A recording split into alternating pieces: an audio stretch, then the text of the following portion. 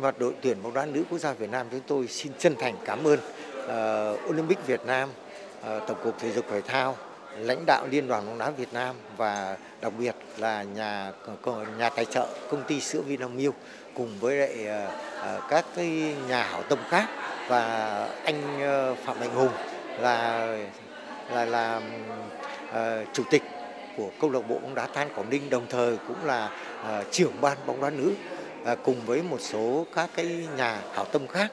đã ờ, ờ, quan tâm và đã thưởng cho đội tuyển bóng đá nữ chúng tôi đạt thành tích vừa qua. Và nói là chúng tôi ờ, trong cái bối cảnh hiện nay thì cũng chưa được xã hội rồi là các nhà hảo tâm cũng chưa quan tâm đến bóng đá nữ nhiều lắm, mà lại được các cái nhà tài trợ, được tổng cục, ủy ban olympic rồi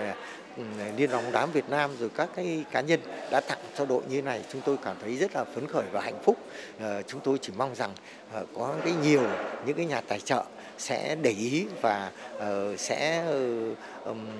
cùng đồng hành với đội tuyển bóng đá nữ chúng tôi trong tất cả những cái giải thi đấu cũng như là trong cái cuộc sống hàng ngày để các em, các cháu nó có cái điều kiện chăm lo đến cuộc sống hơn và nó chăm lo đến tức là nó đầu tư quan tâm hơn về cái chuyên môn của các vận động viên. À, hôm nay phải nói là chúng tôi cũng rất là à, bất ngờ để lại được à, nhiều nhà tài trợ và thưởng đến như vậy. Đấy, thì à, chúng tôi cũng không biết nói gì hơn chỉ thay mặt đội tuyển bóng đá nữ quốc gia Việt Nam xin chân thành cảm ơn và và có thể có những cái nhà hảo tâm khác mà chưa uh, chưa chưa đến với chúng tôi thì chúng tôi nhân đây chúng tôi cũng kêu gọi ờ, sẽ quan tâm ờ, đầu tư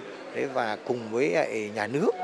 sẽ đầu tư thêm cho bóng đá nữ chúng ta để chúng ta làm thế nào có được cái thành tích nhiều thành tích hơn nữa trong cái bóng đá. Thank